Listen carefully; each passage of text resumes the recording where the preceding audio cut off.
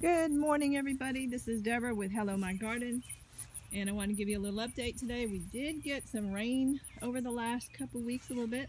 Thank you all. Seems every time I ask you, you deliver somehow. Don't know how, but we did get some rain. And as you can see, the plants are pretty happy with it. Uh, that's the comfrey, my chrysanthemums. Uh, milkweed's been chewed up by the milkweed bugs, but uh, it's kicking. And you can see the Rosa Sharon is in bloom. Uh, so is this comfrey. And so is this bee balm. And that is the mulberry. It's got a few mulberries on it. And so this area is a little, little more uh, uh, left to just a little bit, not too much over here. There is a cactus over there and a milkweed there and a little bit of passion flower. So I wanted to show you the echinacea because we have Aster's yellow disease again. Up there, little butterfly. Okay, so over here, see this yellow right there, distortedly, uh, distorted petals? That is Aster's yellow disease. So I am going to have to pull those out and hope it doesn't spread. It is spread by the Aster's um, leaf cutter is one insect and it's spread by a was it a phyto uh, phytoplasm something like that uh, similar to a bacteria and it's carried by the by the bug so by the leaf cutter or the leaf um, hopper bug the asters leaf hopper. And so I got to pull it out. There's no disease, there's no cure for it. Uh, and so I got to pull that out unfortunately and hope that it hasn't already spread to the other flowers. I did read that the um, that heat kills it, so that it spreads mostly during uh, cooler periods. So hopefully the little bit, I just have to hope that the little bit that's here isn't going to spread. Here's a butterfly. I don't know if, you, if I get it in the picture there. Swallowtail. And uh, more passion flower. And more bee balm.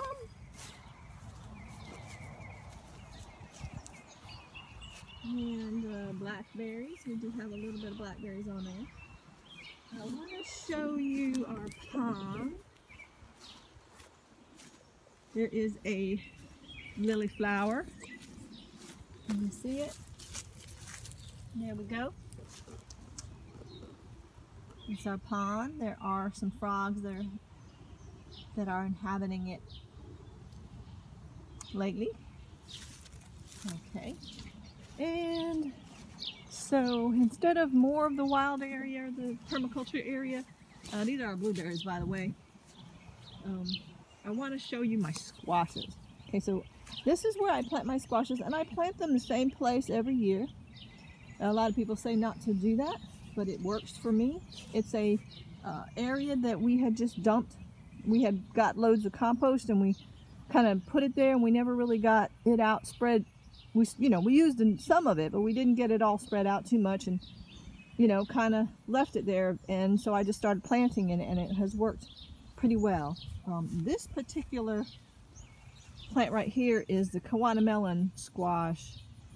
And I did not like it too much because it's very spiky and it's hard to wash and I like to wash my vegetables pretty good. So um, it hurts to wash it.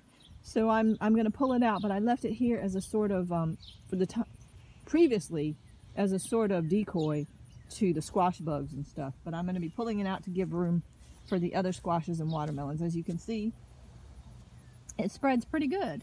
And uh, it ends up taking up much of this area and we let it kind of take over.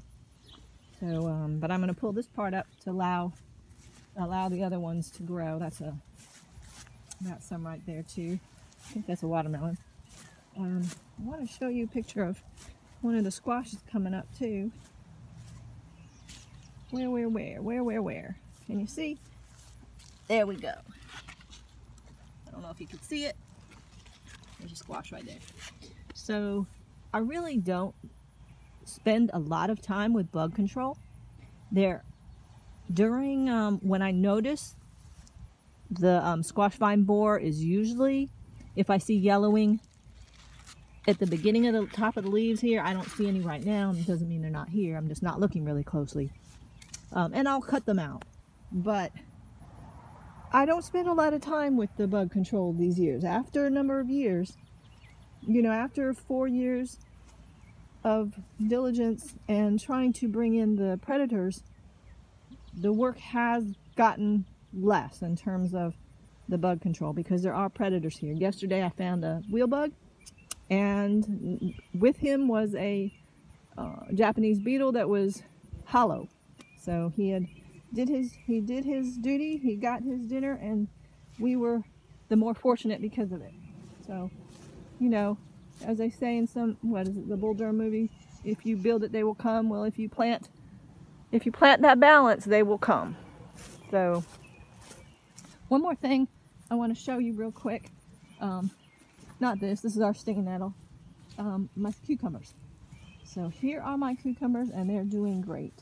Now, with the humidity here, cucumbers don't last for a whole long time, so I kind of plant them, I overplant them and um, let them take over for a long time. Here's a here's a bad bug right there, leaf hopper bug. Now I don't know if I'm, I usually don't do anything about them because the predatory bugs need food. So if I keep killing off or, you know, I don't like to kill anything to begin with, um, but if I do something about them, then the predators don't have any food. So you really have to, I mean, unless you have a really big infestation, you gotta let, you gotta give them, you know, you gotta let them be. So I'm gonna let him be and he may destroy my cucumber crop and you know if he does, that's part of the part of the um, price I have to pay. Um, but I, in the meantime, I've got tons of cucumbers. I got more than enough cucumbers right now. So, you know, if they last a little while, and I expect them to last not too long because this is North Carolina and there's the humidity and, you know, and, and that brings on the mildew, the downy mildew and the, um, it's just a part of, part of the process. So, uh, there's a cucumber right there. Anyway, so that is what I wanted to show you. Oh, I'll show you some okra too. These are a little, uh-oh. Oh, my husband forgot to remove that one. I, I cover them up so that the uh, rabbits or voles or whatever, uh, at night, the deer especially aren't um, going to chomp on them. So these are our okra coming up. And despite the fact I, I planted them quite a long time ago, planted a lot of them, and it's really taken till now for them to start coming up. So they're really, I mean, even though the beds are kind of warmer and we had some warm temperature, they really waited until it, it, it got considerably, you know, in the 80s and 90s to start popping up. So anyway, I hope you all have a great gardening day and uh, talk to you next time.